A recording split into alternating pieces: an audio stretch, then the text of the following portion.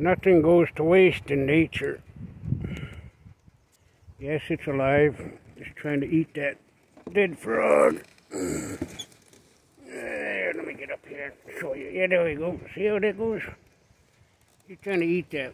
But he thinks I'm going to steal his food. It's what they call a gardener snake. He's going to eat that whole damn frog by itself. And I believe he could have done it.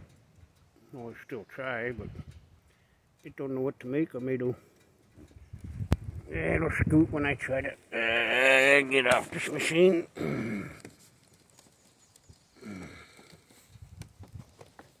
don't know what to make of it.